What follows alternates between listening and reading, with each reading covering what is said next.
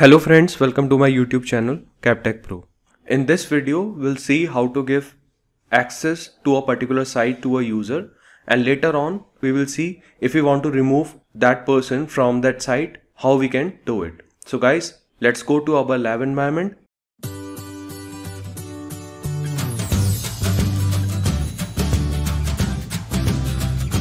Okay friends, so now we are on Microsoft 365 Admin Center and I have logged in with a global administrator account. So I will click on this navigation menu and here I will open SharePoint Admin Center. In the SharePoint Admin Center, I will click on active sites. So on active sites, previous video, we have created a site test. So now let's open these both the sites, site test and sites site. These are my two sites so you can see this is my test site and this is a site with the name of site. Now in the test site we have a document library and inside document library we have some folders and files. Let's go back. Now there is one user whom I want to give access to this particular site and also to this site test. So how it is possible? Now to give the access to a particular user I will click on this gear icon. I will click on site setting and in site settings we will click on site permissions. And now in site permissions I will click on grant permissions. Here I will enter the name of the user whom I want to give access. So here I will enter the name Ritika. After entering the name you can click on share. Okay so you can see test shared with Ritika. So this particular site is now shared with Ritika. Now we will go to our second site, site. Here also I will give permission to Ritika. Same, we have to click on this gear icon. Then we can click on site settings. On site settings, we can click on site permissions. On site permissions, again, I will click on grant permissions. And here we will again type Ritika. You can see here it is listed now. And now I will click on share okay so this site is also shared with Ritika. Let me refresh it. Okay let's see both of these sites are now shared with Ritika or not. I will go to SharePoint admin center. Here I will copy the URL of this particular site. And on another browser I have logged in with the credentials of Ritika. Let's see if the user is able to access this site or not. Let me minimize this Okay, so now we have logged in with the credentials of Ritika. You can see Ritika at the rate microsoft.com. Now here I will open new tab. Simply here I will enter the URL of particular site. And now if I will press enter, you can see Ritika is now able to access this site. Let's try to open site test. Let me again copy this URL. Let me paste it in the new tab. Here only I will change the name of the site to test now I will press enter. You can see Ritika is able to access both the sites. Now let's go back to our SharePoint admin center.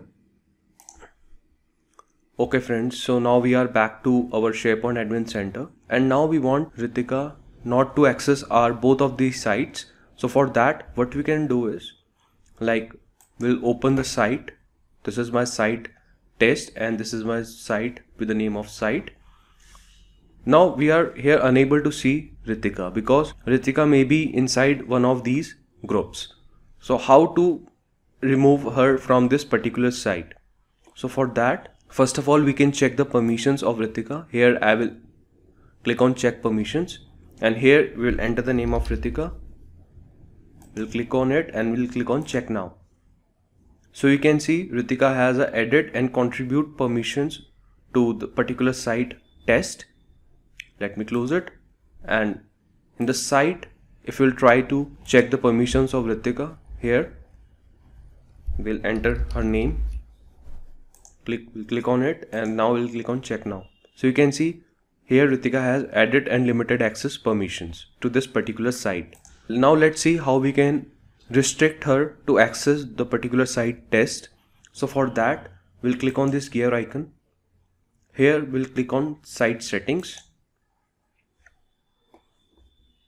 On site settings, we will open people and groups. After people and groups, you can see the URL. It's captechsharepoint.com site test and this is the URL and we have a membership group ID equals to 4. Now we don't want Ritika to access anything inside the site, even folder, file. We don't want to give her permission.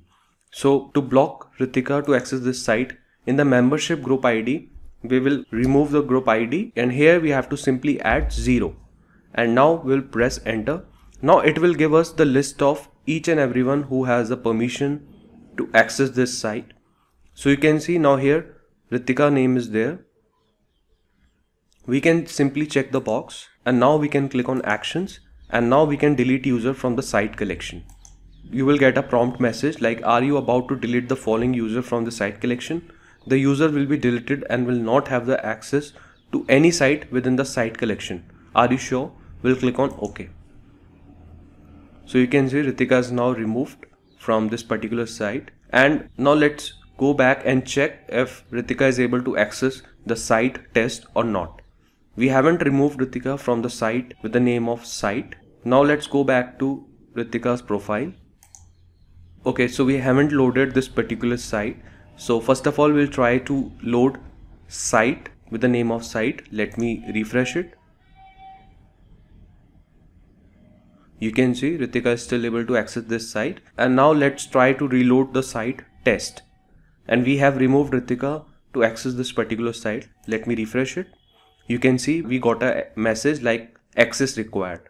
Because we have removed Ritika from that particular site now she no more has access to this particular site but still she is able to access the site with the name of site.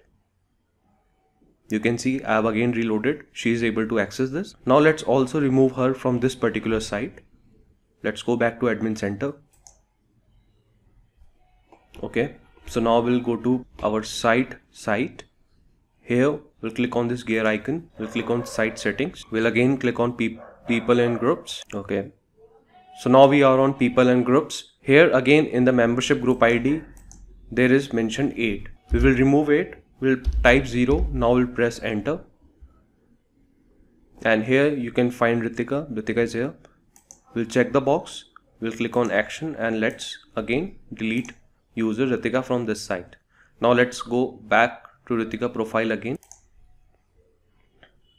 Okay, so this is the site with the name of site let me refresh this page. And here you can again see the Ritika need access to this particular site. She is getting this message.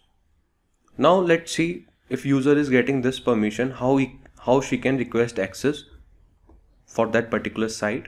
So here Ritika will type a message like hi admin. Please give me access to this site. Okay. Now she has written the message. Now she will click on request access okay so she will get a message like awaiting approval and we will let you know about any updates.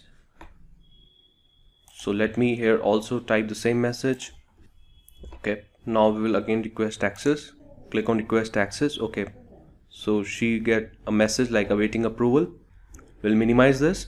We'll close both of these sites setting now. Okay now we want to give access to Ritika for those particular sites. So how we can do that we will open these site once again. Let me open both of them in new tab. Okay first of all let's try to give her access. We'll click on this gear icon. We will click on site settings again. And here we got a link like access request and invitations. We will open this. And here you can see the message like pending request. And if I will click on this three dots you can see permission needed for site here we can modify like what permission you want to give to Ritika. Like it could be any permission edit full control read contribute design full control. And you can also give view only permission. So let it be added permission by default. You can here type your message. Hi Ritika. Welcome to this site. Okay after entering the message you can see requested by name request for this site. Requested on you will get a time and status is pending. And this is the message which Ritika has written. And now we will click on approve. Okay. So you can see there is no pending request. In the test site we'll again click on this gear icon. We'll click on site settings. We'll click on access request invitations. Here you can see Ritika has also requested for this site approval. We'll click on approve okay so there is no pending request now. Let's go back and let's see if Ritika is able to access both of these sites or not. Okay friends so now we are on Ritika's profile. You can see Ritika at the redcaptech.onmicrosoft.com I will open new tab. Here again I will try to access the site with the name of site. I will press enter. And as Ritika has requested for this site you can see now she has access to this site. Let's see the site with the name of test I will again enter the same URL here I will only enter the site name test. I will press enter. And you can see now she has access to both of the site which earlier she was not having. So friend that's how we give access to a user on a particular site and and how user can request access for a site to access. In our next upcoming videos we'll discuss about the unique permissions and how to stop inheriting permissions so let's meet in our next video for more informative videos you can check my other video links on the screen and subscribe my channel and press bell icon for more upcoming videos. I will see you guys in next video.